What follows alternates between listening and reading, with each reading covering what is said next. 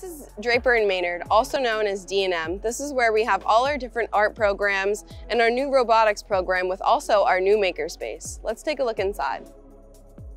Back here on the first floor, we have our brand new state-of-the-art makerspace. This is where students can come to work on their own projects or work in projects collaboratively. Here you might find some high-tech equipment like a plasma cutting table or a 3D printer.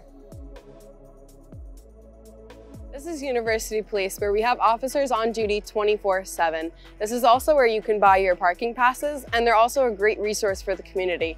So if you ever need a ride anywhere or help with your car, they'll help you out. This building is Speare. I call this the all-important building. If you're looking for something important, it's definitely in this building.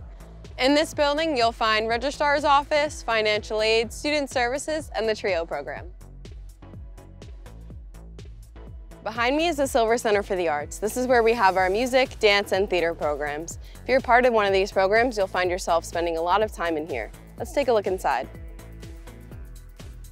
We are now in the main part of the Silver Center. Right behind me is the Hanaway Theater, where the theater department will put on all their different productions throughout the year that you can even attend to with your student ID for free.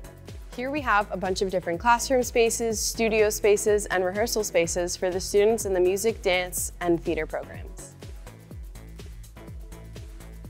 Behind me is Rounds Hall. This actually used to be the first building on campus when we were just a teacher's college back in the day.